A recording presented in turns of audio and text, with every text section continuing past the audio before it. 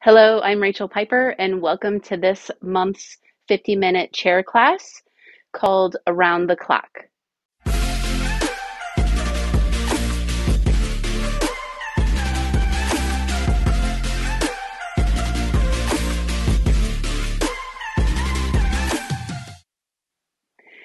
Joseph Pilates created the commando exercise called Around the Clock back in 1943. He had a pamphlet that stated that it could fix all sorts of things with the body. Um, and whether or not that's been scientifically proven, which I don't think it has, uh, it is a super fun exercise. I like to think of it as a hyped up double leg stretch, and it incorporates super fun things that I really love, like the teaser, uh, roll up, the hundred, uh, rolling like a ball, double leg stretch, all the good stuff. It's kind of all wrapped into one, and it's usually done in the mat work.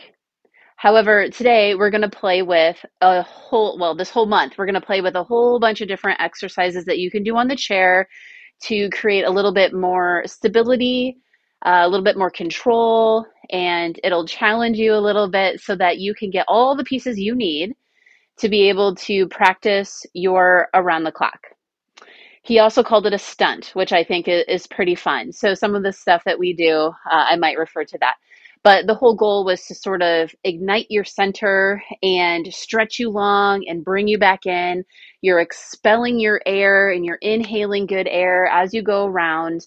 And the idea is that you're long at 12, you come in on one, you're long at two, you come in on three, you're long at four, all the way around to 12, and then you come back again. And the goal is to try and get around and back in a minute. So we I'll do the whole thing at the end for you, but we're going to build up to it. So we're going to see what's possible now and what's possible at the end of class, and then we'll see what's possible on day 1 of the month and at the end of the month.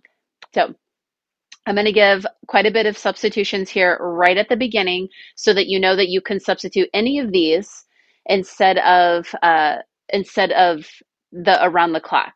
So the first thing we're going to do is just a double leg stretch. And I'm just going to use the chair here. Um, the origi- original pamphlet said that the legs would go about three inches from the floor, but uh, I'm going to do it nice and high, and, and that's fine. Okay, so we're going to start back. I'm going to scoot up a little bit. We're going to start back in sort of our double leg stretch position. So first thing we're going to practice is just that double leg stretch.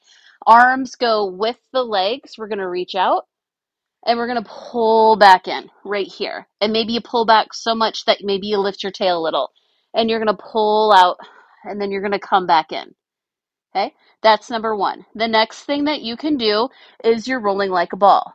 So we can come up and we can grab those shins and we can just practice our rolling like a ball. And it's early. So these usually come after a few exercises in, and that's fine. So you can substitute with that. The other thing that you can always substitute with is the 100. And you can do your 100 with your legs long here. And you can just practice maybe inhaling for five, arms going up, and exhale for five as the arms go down, and really feel that fire right in your center when you're doing this. Inhaling up and exhaling down. So those are all the practice ones you can do. You can also do a rolling like a ball teaser to practice and then come back down. Okay, so now I'm going to show you part of the extra exercise. So you can substitute substitute any of those, but we're going to break it down. We're going to do a section and then we're going to play with a little bit of around the clock and then we'll go back to some chair work and then do around the clock. So right now we're going to do we're going to go from 10 to 2 to or 12 to 2, back to 12 to 10 to 12. Okay?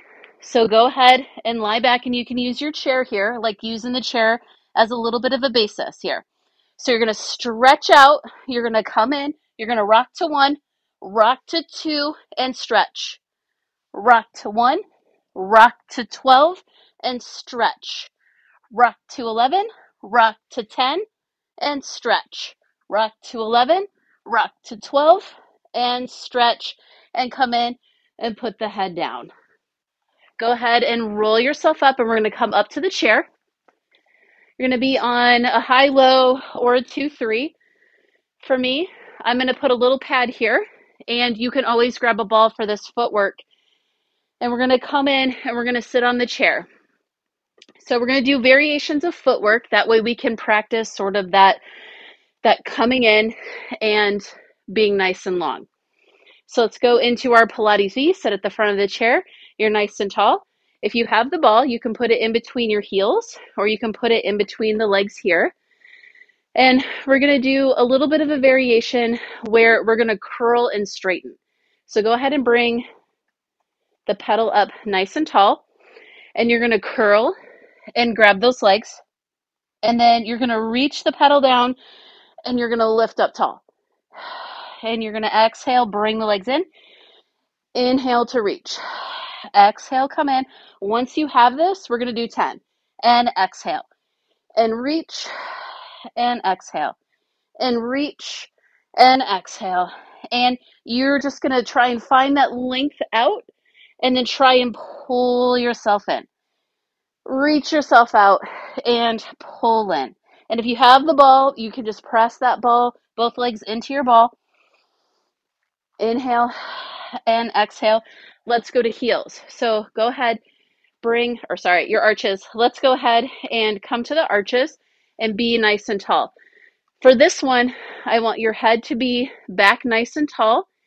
We're going to feel, we're going to do like a little bit of a fly and then go to the shins. So as we come up, we're going to have the shins and then as we take it down, we're going to go wide and then pull it in and then go wide and pull it in. And so what we're doing here is we're creating a little bit of oblique work as we take the arms out and press the legs down. We have to fire everything up. And this is what we be doing as we go around the clock. We need to fire up our sides to be able to get us around that circle. So you're nice and tall, head is back. And exhale to pull in. Two more. Last one. Now we get to come to heels. Heels is going to be super fun. You get to stay in a little bit of a C shape here, and you just get to hold that chair. And you're going to bring the pedal up.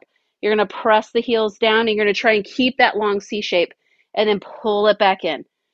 So down, I just have my fingers pointing here, nice straight down, and back up. Press it and come back up. And it's okay. Go nice and slow because you're going to have to do those connections. I know for around the clock, we're going to try and go all the way around and back in a minute at the end. But uh, you can do this work nice and slow, sort of fire you up and get you ready for all that work. Last one. And back up. Go ahead and come to the balls of your feet, and you can get rid of this ball or you can actually keep it for pumping. We're going to do pumping next. So I'll go ahead and keep it here and we're just going to sort of rinse it out. So go ahead, put the hands back behind the head, have your thighs nice and parallel here to the floor, and you're just going to do your nice tendon stretch. So you're going to point the toes and then flex as you flex your feet as the pedal comes up. So point and flex. And let's just go do two more. And now we're going to come, we're going to stay on the balls of our feet here. We're going to stay in parallel and we're going to do 10 tall pumping and then we're going to do 10 curled pumping. So you're going to be nice and tall, hands back behind the head. We're going to lift it up and we're going to pump middle range. Try and stay as tall as you can. Bring your center back. Ignite that fire. And that feels like about 10. And we're going to come and we're going to curl here. So you can either curl here, you can have your hands down here. I feel a little bit more stable with my hands behind my head. And you're going to curl and then you're going to pump the legs. And you're going to try and keep that C shape. Excuse me. Press your head into your hands as you pump. And then go ahead and come up. We're going to go to heels and do the same thing. Heels is a little bit different. We're going to try and ignite the back of our body into our butt. That'll help us keep our legs up in the air when we're out in or around the clock. So heels and press. You're super tall. Create that connection, your head to your hands all the way through to your back. Your back and your center like your front and your back, are what we're going to need to be able to move us around in a circle and bring us back. Pause, curl, pump with those heels, pull it back in. And if you haven't tried a ball here, really good for that stability. If you feel like you're flying all over the place and your upper body's doing whatever it wants to and not what you want it to,